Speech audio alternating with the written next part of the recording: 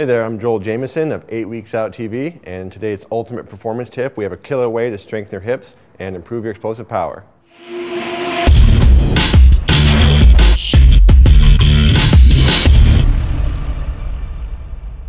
All right, so we're back today. We're gonna go over the sled hip drills, and if you saw our earlier videos on the shoulder hip drill, or shoulder sled drills, I should say, uh, you're gonna see the similarities, and today, of course, we have Howie Clark again to demonstrate.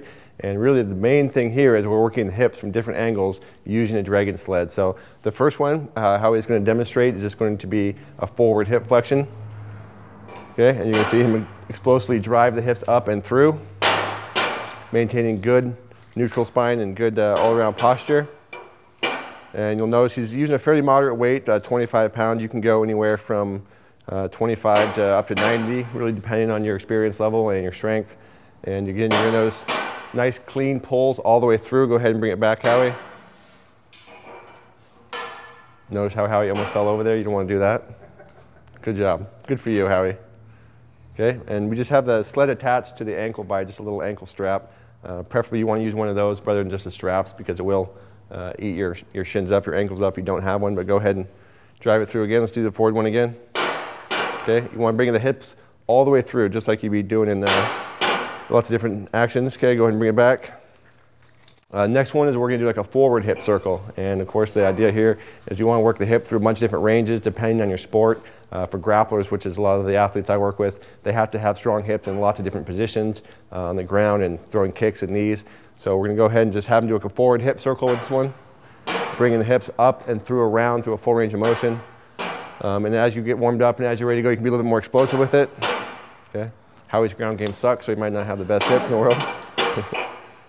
okay, go ahead and bring it back. Okay, again, you're gonna notice how he's coming up and all the way around. Okay, good, just go ahead and bring it around. Now we're the same, same type of motion, but we're gonna do an external rotation. So we're gonna go the opposite direction with the hip, facing us, facing us. Don't get dizzy. Okay, so you're just gonna come up and out as he comes up and around. Good, it's fine. Okay, or you can face sideways and you do those ones as well. Go ahead and pull it around.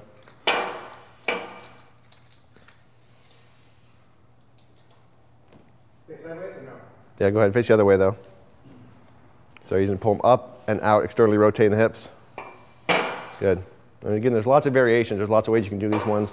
Uh, really just kind of up to you how you want to play around with it. Okay, we can do a backwards hip rotation. So go ahead and pull the sled and Howie's going to face backwards and do an external rotation.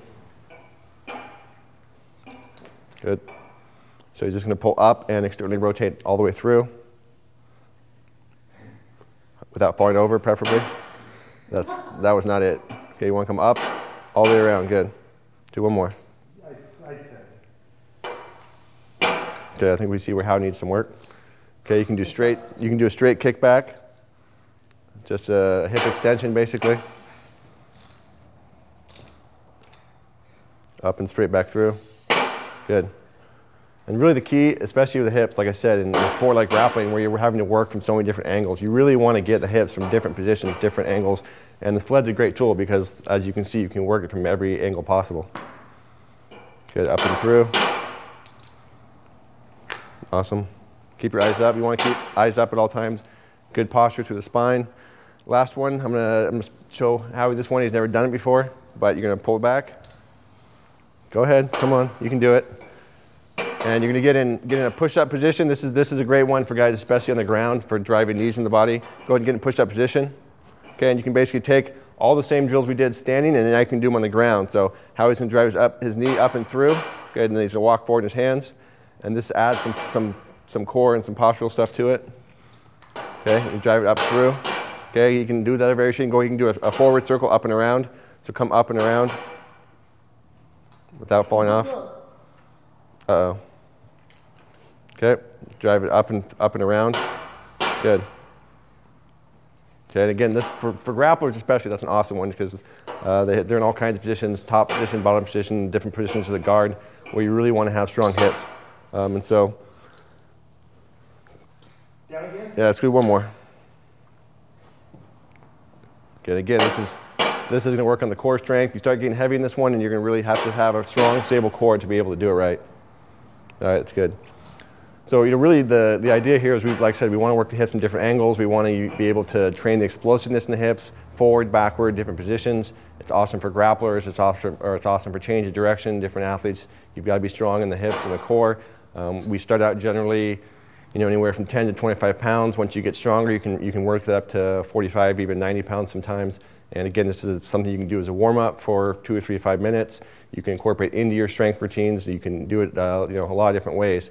So it's just a great exercise. And, and for more tips, more videos like this, make sure to visit 8weeksout.com, subscribe to our YouTube channel, and uh, we'll have more tips coming your way soon.